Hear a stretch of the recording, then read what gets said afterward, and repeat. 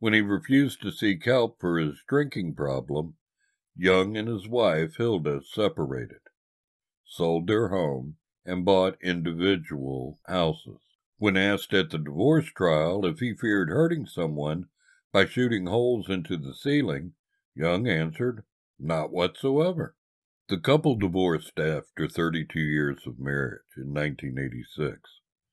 A combination of feeling he had been abandoned by country music and despondency over his deteriorating health were cited as possible reasons that Young shot himself on December 9, 1996.